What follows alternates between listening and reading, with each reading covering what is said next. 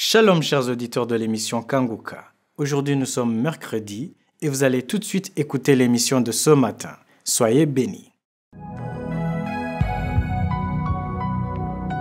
Bienvenue à tous ceux qui se sont réveillés ce matin. Vous écoutez l'émission Kanguka. Mon nom est Chris Dikumana. Aujourd'hui, nous sommes mercredi. J'aimerais continuer avec ce que nous avons dit mercredi dernier. Nous lisions dans Psaume 143, verset 8. Je parlais de la préparation de la journée tout en vous disant que David était quelqu'un qui avait déjà compris qu'il était très nécessaire de commencer sa journée avec Dieu tous les jours. Nous apprenons de lui quatre choses dont il a fait mention dans ce verset. Premièrement, il a dit, fais-moi dès le matin entendre ta bonté. David le dit comme s'il voulait entendre cette bonté par ses oreilles physiques, mais il s'agit plutôt de ses oreilles spirituelles. Pour entendre la bonté de Dieu, il faut te recueillir, méditer sur sa grâce, sur l'endroit d'où il t'a attiré, sur le pardon des péchés qu'il t'a accordé, car cela est une bonne chose sur laquelle tu devrais remercier Dieu, le remercier de ne pas t'avoir puni conformément à tes transgressions, sinon tu serais peut-être déjà mort dans tes péchés. Toutefois, Dieu t'a donné l'occasion de te repentir. En outre, la bonté de Dieu qui dure pour toujours est aussi une bonne chose à laquelle penser le matin au réveil. Ne te réveille pas seulement pour la méditation de tes soucis seulement. Il est vrai que les soucis existent, mais avant de méditer sur eux, médite d'abord sur la bonté de Dieu, sur la miséricorde de Dieu, sur l'amour qu'il a manifesté en livrant son Fils Jésus-Christ, car tout cela témoigne de sa bonté. Médite sur son pardon des péchés, sur la patience qu'il porte envers nous et sur la façon dont il capable de résoudre nos problèmes, qu'il s'agisse de la maladie ou d'autres choses, recherche d'abord cette bonté de Dieu. La deuxième chose dont je vous parlais avant de terminer est qu'il nous faut avoir confiance en Dieu. Il est écrit, car je me confie en toi. C'est une chose très puissante d'avoir confiance en Dieu. Dès le matin, médite sur la puissance de Dieu pour que tu puisses te confier davantage en lui. Ceci constitue une deuxième chose importante. Troisièmement, il est écrit, fais-moi connaître le chemin où je dois marcher. Que Dieu te fasse connaître le chemin où tu dois marcher aujourd'hui. Sache que tu as besoin d'être guidé par je suis dans tout ce que tu entreprends faire aujourd'hui. C'est une chose très importante que tu sois guidé par Dieu dans tout ce que tu vas faire aujourd'hui. À chaque fois que tu pries le matin, dis toujours à Dieu, je veux que tu me fasses connaître le chemin. Il est certes vrai que tu connais le chemin qui te mène au travail, à l'école, tu connais les projets que tu entreprends, mais quand bien même tu connais tout cela, dis-lui, fais-moi connaître le chemin. Quand tu demandes à Dieu de te faire connaître le chemin, tu veux en fait dire à Dieu qu'en dépit de ce que tu as déjà planifié, tu es prêt à renoncer à tout ce qui ne relève pas de sa volonté. Souvent quand je prie, je dis souvent, ferme toutes les portes que Dieu n'a pas ouvertes. Il faut que Dieu ferme toute porte qu'il n'a pas ouverte et cela dès le matin, car une fois qu'elle sera fermée, tu t'en réjouiras. Il y a des choses que Dieu fait sans qu'il t'ait d'abord demandé ton avis. Comme Dieu est souverain, il fait tout ce qu'il veut. Cela constitue donc la troisième chose très importante. Il faut demander à Dieu de te montrer la voie que tu dois emprunter. J'aimerais que tu demandes à Dieu d'être guidé par lui à chaque fois que tu pries. Être guidé par Dieu est le premier pas pour marcher dans la vérité. Il y a des fois où nous demandons à Dieu d'ouvrir les portes que nous désirons alors qu'il a ses raisons de les maintenir fermées. Il est bon que nous laissions Dieu ouvrir la porte qu'il veut. Mais s'il ne veut pas, qu'il ne l'ouvre pas. Car souvent tu découvriras que la fermeture de cette porte est bénéfique car elle aurait pu te conduire loin de sa volonté. La quatrième chose qui est aussi la dernière est je lève à toi mon âme. La quatrième chose que tu devrais faire dès le matin à ton réveil après la prière, c'est d'élever toujours ton âme, c'est-à-dire tes pensées et ta volonté et mets tout entre les mains de je suis. Dis-lui, je mets dans tes mains tout ce que j'ai préparé aujourd'hui. Je veux que tu me guides. J'ai besoin de ton conseil. Je veux que tu me diriges là où tu veux que je sois. Quand tu pries de cette façon, Dieu placera des gens sur ton chemin. Il te connectera avec une personne pour ta bénédiction. Il t'apportera son soutien en éliminant les obstacles devant toi à ton insu. Grâce à tes prières, il y a des anges qui se mettent au travail pour te guider sur le chemin de la volonté de Dieu. Mettez en pratique le psaume 143 verset 8. Il m'a beaucoup servi dans ma vie. Commence toujours la journée en compagnie de Je suis.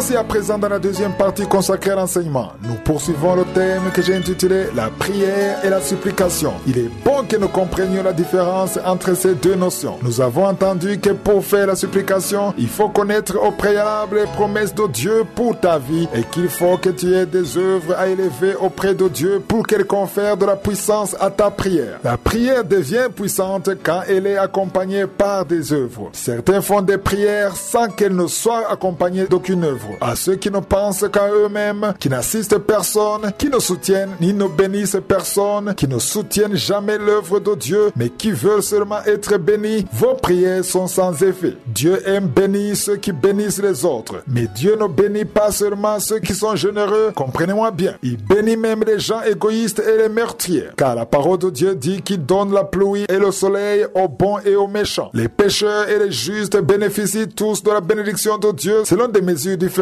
Toutefois, il y a une bénédiction particulière que les enfants de Dieu reçoivent en plus. Il faut le comprendre. Il y a des choses que Dieu pourvoit à tout le monde vu sa générosité, mais il ne donne pas la même mesure pour tout le monde. À toutes ces personnes qui aiment donner, qui offrent, qui sont compatissants, qui sont humbles, qui marchent dans la justice, dans la sanctification, qui se gardent du péché, ces personnes bénéficient beaucoup plus de sa bénédiction que les autres. En outre, à chaque fois que tu fais une prière de supplication, la première chose est de t'assurer que tu es un enfant de Dieu qui ne vit pas dans le péché, qui a la foi, qui connaît les promesses de Dieu et qui détient des œuvres qui lui servent d'appui lors de la supplication. Il y a des gens qui font la supplication sans qu'il n'ait d'œuvre à présenter. Tu n'assistes jamais personne. Tu ne bénis jamais qui que ce soit. Tu n'assistes aucune œuvre de Dieu. Tu ne penses qu'à tes propres intérêts seulement. Tu te plains tout le temps que les choses ne marchent pas bien dans ta vie et tout est centré sur toi.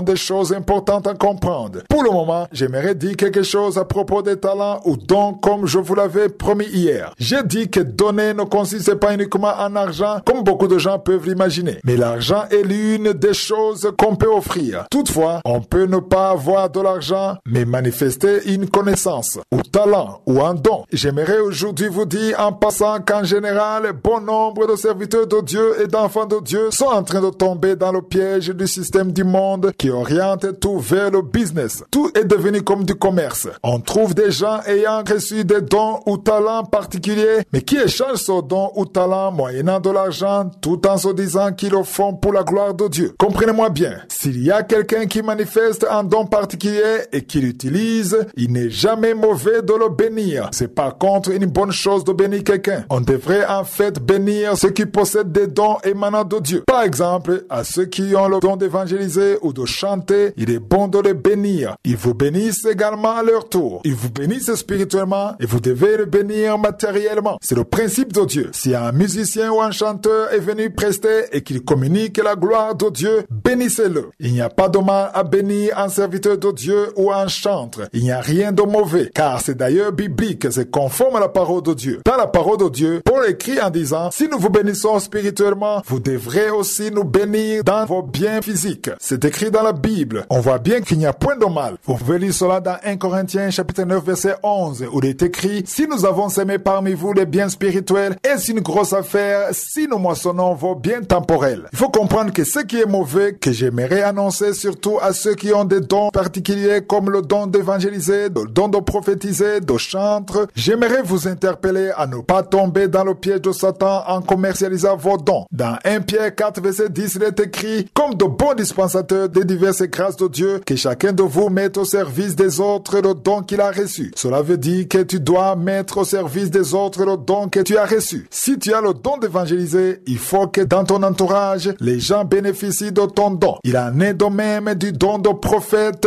dont l'entourage ou l'église fréquentée devrait bénéficier. Si tu as le don de chanter, cela veut dire que l'église que tu fréquentes ou les gens autour de toi devraient en bénéficier. C'est important que tu dispenses ce don gratuitement. Mais aujourd'hui, tout est devenu du commerce. J'aimerais véritablement en parler et je crois que ça ne va blesser personne car il est bon que nous le disions afin que nous ne tombions pas dans le piège de commercialiser ce don ou talent. Aujourd'hui, nous sommes arrivés au stade où les chantres taxent de l'argent pour que tu aies droit de participer avec eux dans les moments de louange. Il y a des prédicateurs qui organisent des conférences et qui taxent énormément d'argent pour avoir accès à la salle de conférence. Normalement, on ne devrait pas faire payer des gens qui sont venus écouter la parole parole de Dieu ou qui sont venus louer le Seigneur. Au contraire, la personne qui est venue écouter la parole de Dieu ou louer son Dieu devrait penser à te bénir. Vous qui participez dans des conférences ou dans des concerts et que vous êtes bénis, sachez que selon la parole de Dieu, vous avez l'obligation de bénir ceux qui vous bénissent. Et à vous tous qui avez des dons particuliers, ne les vendez pas, ne les commercialisez pas, car Jésus a dit dans Matthieu 10, verset 8, vous avez reçu gratuitement, donnez gratuitement. Je vais continuer à en parler dans Kanguka de demain. Soyez tous bénis, passez